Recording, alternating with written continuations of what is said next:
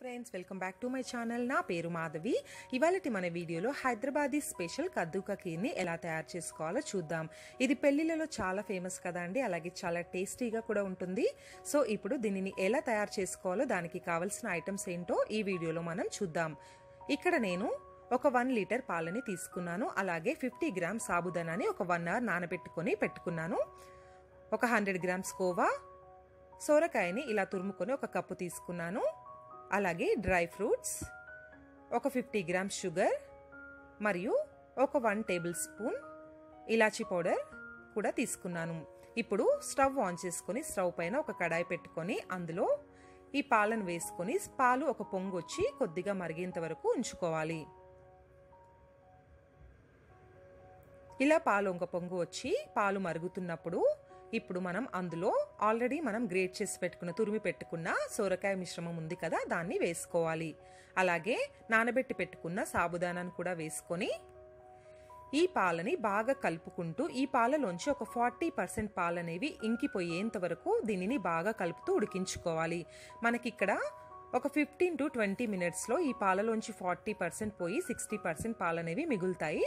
So ఇలా every two మినిట్స్కి మనం కంపల్సరీగా ఈ పాలనేవి కలుపుకుంటూ వీటిని బాగా కలుపుకుంటూ ఉడికించుకోవాలి. ఎందుకంటే మనం కలుపుకోకపోతే కింద మాడుతుందండి సో కంపల్సరీ ఎవ్రీ టూ మినిట్స్కి ఒకసారి ఇలా కలుపుకుంటూ ఈ టెక్స్చర్ వచ్చేంత వరకు పాలని మరిగించుకోవాలి. ఇలా మరిగించుకున్న తర్వాత ఇప్పుడు అందులో ఒక హండ్రెడ్ గ్రామ్స్ కోవా